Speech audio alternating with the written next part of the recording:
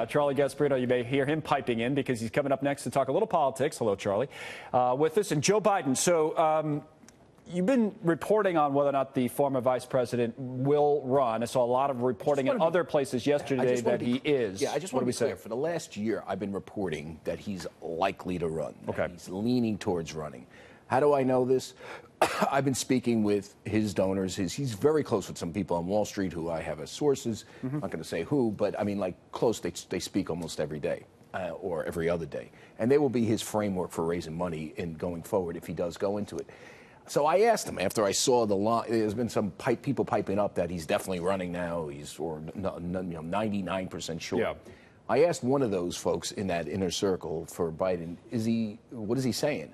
And this person told me that he has is not fully committed and he is not saying if he is going to be fully committed at any point. Mm-hmm. And it got me thinking that he's really doing a gut check right now, and he, there whether is, he really wants it. Yeah, there is more than in, than a theoretical possibility that he decides not to do this. Now, the idea last time, and we know this, he and, and I'm sure most people believe this was the right. reason he didn't run because of his son. His son, and that, that clearly and, was his yeah, reason. And um, now, but now he's, I mean, he really is. He's an older guy. I mean, it's a tough job, and I know the president, the current president, in mean, his early 70s, but Joe Biden in his first term would be uh, well, what 80, we re- 80 years old. What we reported uh, about six months ago was that what he was telling people would he would only run if Trump ran because the age wouldn't be an issue. Right. And so now we know Trump is, you know, unless he gets.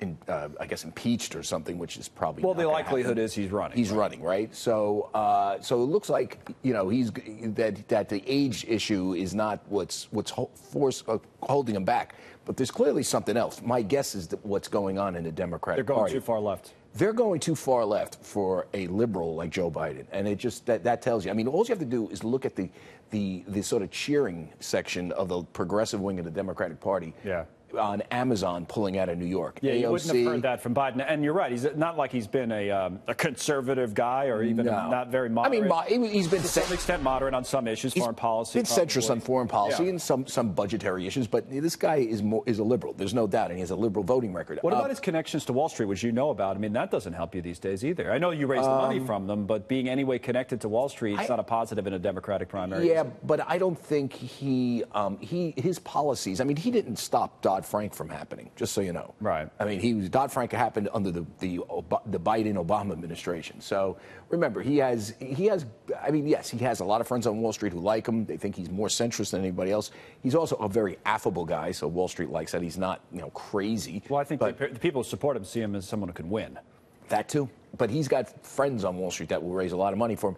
Now, here's the other sort of interesting thing. Uh, Bloomberg is weighing whether to run, and he would be yeah. the other moderate if if Biden runs, my guess is Bloomberg doesn't run, and because they, they basically yeah, but he still spends like half a billion dollars on other things, right? Or I have I, I, have heard, you know, listen, our friend Noelle Nikpour tweeted yeah. this out yesterday, and I've heard it as well that he is telling people that if he doesn't run, his his checkbook will be open, and we're talking sizable amounts of money. Yeah, we got spend. we got to run, but that's nothing to, to Mike Bloomberg to spend half a billion dollars. But it could have a big impact. He have a bigger impact if he doesn't run. He, by the way, here's the thing: Mike Bloomberg is liquid at 46 billion. It's crazy. Liquid. That means he can pull it out of his. Like Cavuto, of that kind of money. It, I, Cavuto money. That's what we. got Cavuto money. This Bloomberg.